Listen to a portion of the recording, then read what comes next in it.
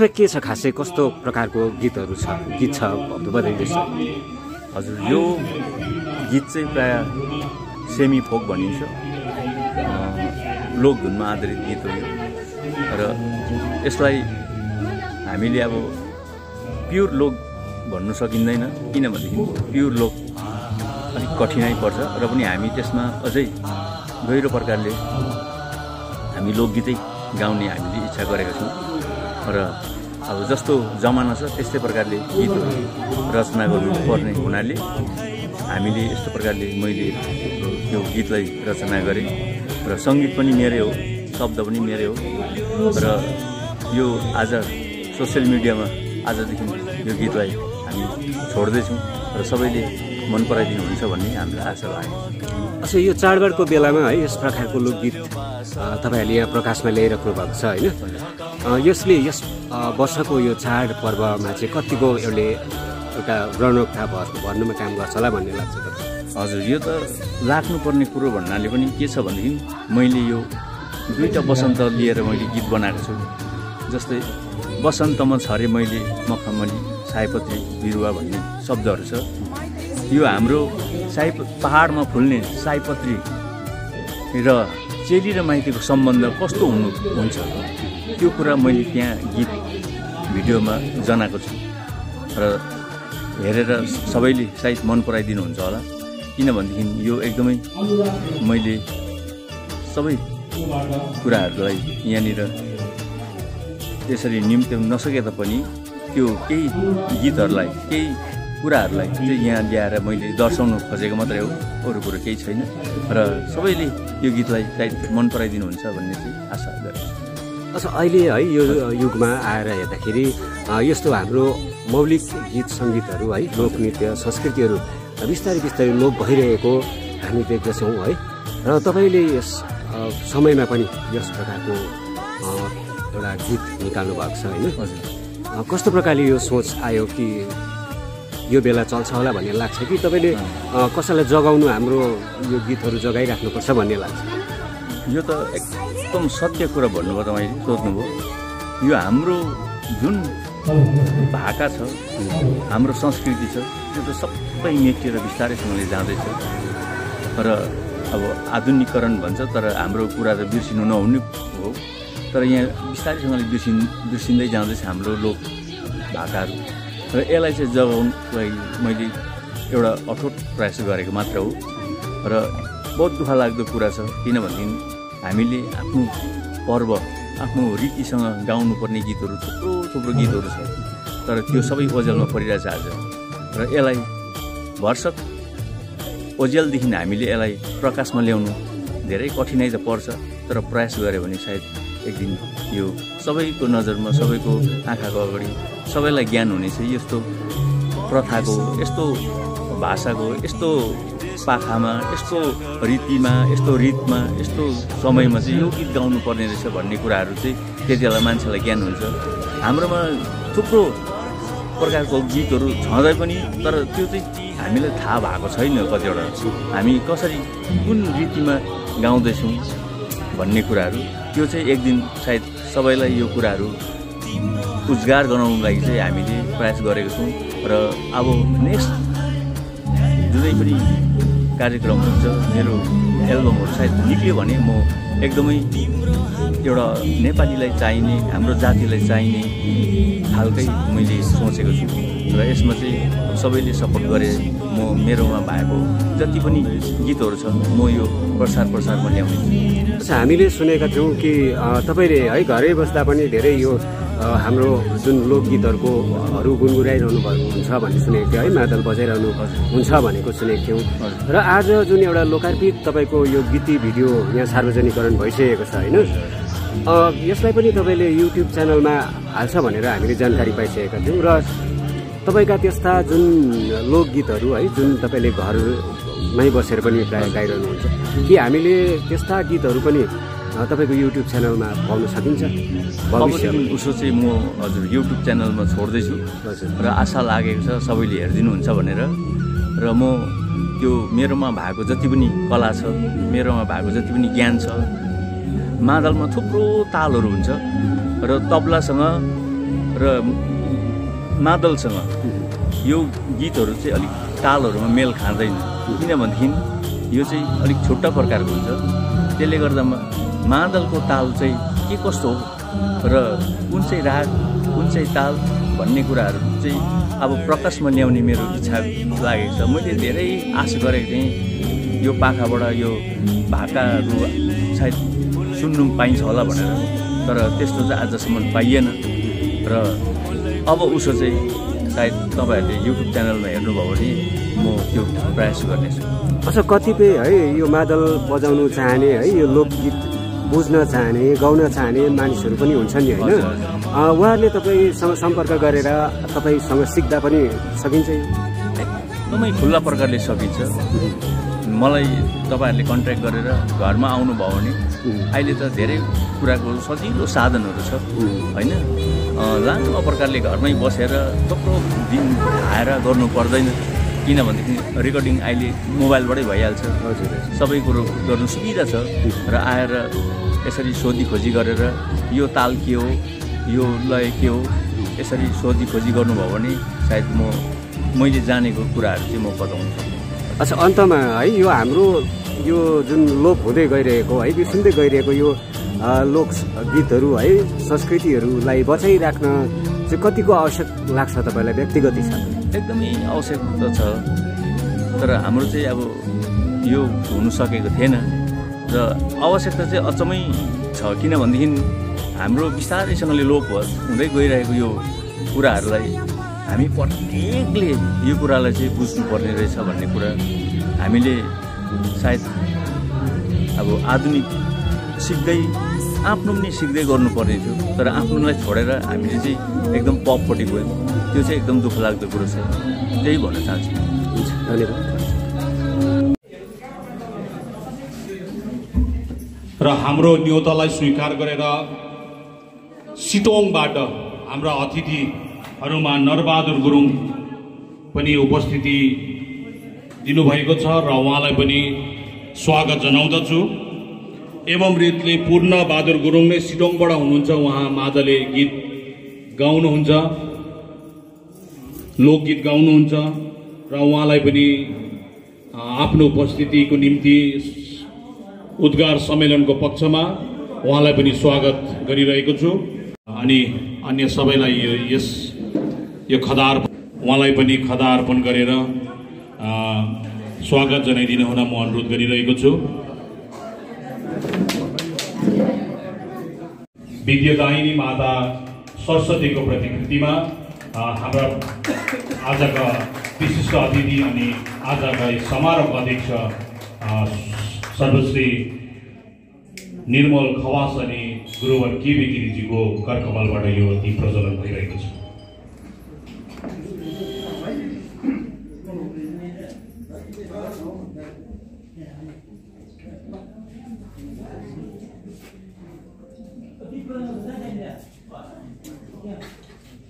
र यसै परिप्रेक्ष्यमा यो कार्यक्रम अथवा यो गीत यो हाम्रो भाकालाई भिजुलाइज गर्नुको निम्ति Muskan Muskan dance and fitness studio उहाँको एउटा ठुलो योगदान छ र यी नानीहरूलाई पनि अनि मुस्कान यो मुस्कान थापा जसले चाहिँ Muskan Thapa and fitness studio चलाइरहनु भएको छ। र उहाँलाई पनि स्वागत गरिदिन हुन म नानीहरूलाई विशेष अनुरोध गरिरहेको छु।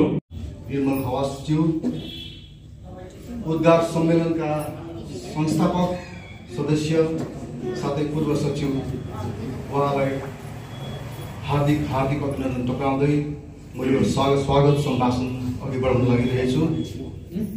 र आजको यस कार्यक्रममा विशिष्ट अतिथिको रूपमा उपस्थिति दिनुहुने मेरो गुरुवर श्रीमान केबी गिरिज्यू उहाँलाई यस महत कार्यक्रममा स्वागत साथै ज्ञान अभिवादन सम्मेलनकै पक्षबाट म टक्राउन चाहन्छु। उसरी नै यस कार्यक्रमको मूल नायक नायिका माननीय श्रीमान गायक पूर्णबहादुर गुरुङज्यू साथै शारदा उहाँलाई पनि यस कार्यक्रममा सम्मेलनको पक्षबाट न्यानो अभिवादन साथै स्वागत टुटाउन चाहन्छु। अनि मामरिङ तिरकबाट उपस्थित दिनुहुने गायक मेरा साथी रमेश खवासज्यू उहाँलाई पनि त्यति टाढोबाट हाम्रो निमन्त्रणा स्वीकारेर यहाँसम्म पाल्नु भएकोमा उहाँलाई उद्घार सम्मेलनकै पक्षबाट न्यानो अभिवादन साथै स्वागत जनाउन चाहन्छु। अनि यस कार्यक्रमलाई अघि बढाउनको निम्ति सञ्चालकको भूमिका निभाउनु हुने माननीय दाई सुजित थापाज्यूलाई पनि सम्मेलनको पक्षबाट अ, मोरी मोरी अभिवादन साथै धन्यवाद टक्राउन चाहन्छु। स्वागत पनि स्वागत पनि जनाउन चाहन्छु। अनि यस गीतको नृत्य कोरियोग्राफर मुस्कान थापा बहिनी मुस्कान थापा उहाँलाई पनि यस महत कार्यक्रममा न्यानो स्वागत साथै अभिवादन टक्राउन चाहन्छु। अनि यस लोकगीतको अनि यस कार्यक्रमको मिडिया पार्टनर मङ्पु न्युज भाइ राजेश थापा उहाँलाई पनि सम्मेलनको पक्षबाट न्यानो स्वागत साथै अभिवादन टक्राउन चाहन्छु।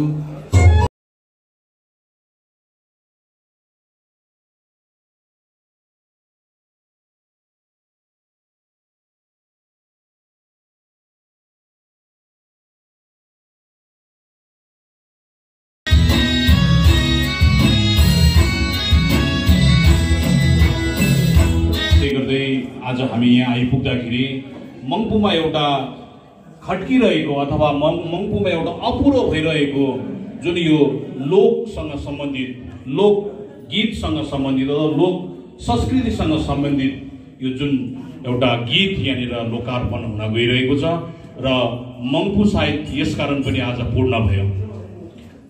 साङ्गीतिक यात्रा थुप्रै तय गरे तापनि आधुनिक गीतहरू जुलाई अथवा छायाङ्कनमा हेरिसकेपछि हामी अरू पनि उहाँलाई बधाई त दिने नै छौँ र अहिलेलाई यो स्वागत मात्र हो र बधाई अहिले हामी दिनेछौँ र महेश भाइलाई यो भिजुलाइज गर्ने रेडी राखिदिनु होला अनि हाम्रा गुरुवर केबी गिरिज्यूको करकमलबाट यो बटन यहाँ थिचेर यो भिजुलाइज अथवा यो लोकार्पण भएको राधा राउत यो लोकगीतमा आधारित लोकगीतै भनौँ सेमीको। हाम्रो भाकाको यहाँ लोकार्पण कार्यक्रम सम्पन्न भइरहेको छ र म आजको अध्यक्ष महोदयलाई पनि म अलिकति अगाडि पाउकष्ट गरिदिन म अनुरोध गरिरहेको छु भने हाम्रा विशिष्ट अतिथि हुनुहुन्छ गुरुवर केबी गिरिज्यू उहाँको यो करकमलबाट यो शुभारम्भ यो लोकार्पण भइरहेको छ।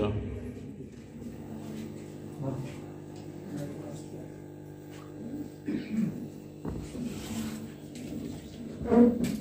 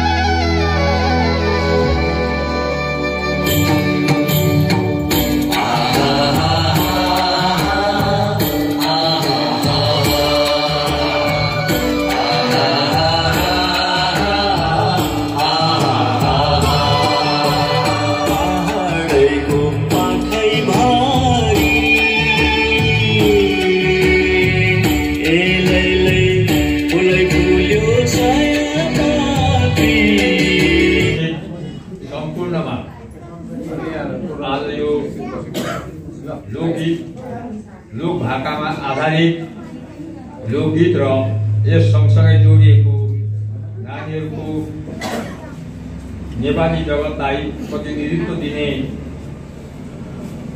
नृत्य पनि भएको यस उपहारलाई आजदेखि लोकार्पण भयो भन्ने कुरोको घोषणा म यहाँबाट गर्दैछु। धन्यवाद।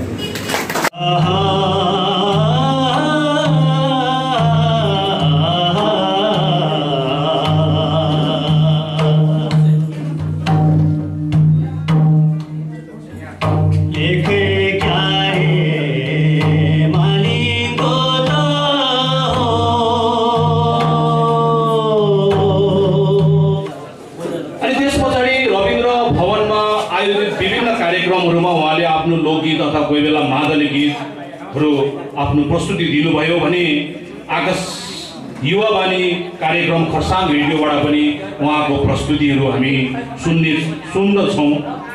र दार्जिलिङलाई प्रतिनिधित्व गरेर कलकत्तासम्म उहाँ पुग्नुभयो। वेलफेयर सेन्टरको प्रतिनिधित्व गरेर र त्यस पछाडि कलकत्तादेखि पछाडि उहाँ फेरि राष्ट्रिय स्तरमा पनि आफ्नो दार्जिलिङलाई प्रतिनिधित्व गरेर बिहारको भोजपुरको आरा भन्ने ठाउँमा युवा केन्द्रले आयोजना गरेको राष्ट्रिय कार्यक्रममा पनि उहाँले आफ्नो प्रस्तुति दिनुभयो।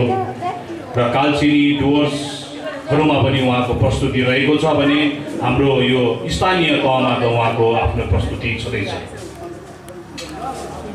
उहाँ पुरस्कारहरू पनि पाउनु भए मैले पाएँ मैले भन्नुहुन्छ। र रङको गैरीवासमा आयोजित एमएम गुरुङको सम्वर्धना अथवा सम्मान कार्यक्रम भएको रहेछ। उहाँले आफ्नो साल भन्नु सक्नु भएन र पनि उहाँले त्यहाँनिर एउटा लोकगीत प्रतियोगितामा उहाँले तेस्रो स्थान प्राप्त गर्नुभएको भन्नुहुन्छ भने रविन्द्र भवनमा लेबर वेलफेयर डिपार्टमेन्टले नै आयोजित गरेको लोकगीतमा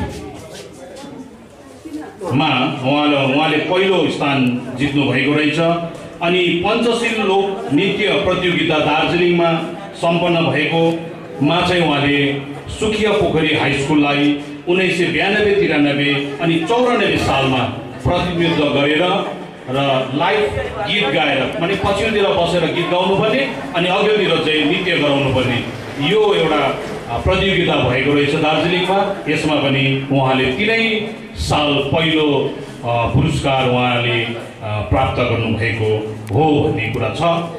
अनि यस्तै प्रकारले डिजिसीले डिजिसीले आयोजित गरेको मङ्पु ग्राउन्डमा जुन कृषि मेला थियो त्यसमा पनि उहाँले आफ्नो प्रस्तुति दिनुभएको छ र उहाँले आफ्नो गुरु भने पनि आफ्नो प्रेरक भने पनि प्रेरणा भने पनि म मेरो आफ्नो श्यामबहादुर गुरु मेरो मामालाई नै म मान्दछु भनेर भन्नुहुन्छ। र उहाँले शास्त्रीय सङ्गीतमा तिन वर्ष तालिम पनि गरे गरेको हो भनेर उहाँले भन्नुहुन्छ। र संसर्ग उहाँको साथी सङ्गीहरूमा उहाँले को कोसँग संसर्ग गर्नुभयो भन्दाखेरि सर्मिला पाखरिन र उहाँको एउटा गीतलाई सर्मिला पाखरिन रङ्गो गैरीवास उहाँले पनि गाइसक्नु भएको छ।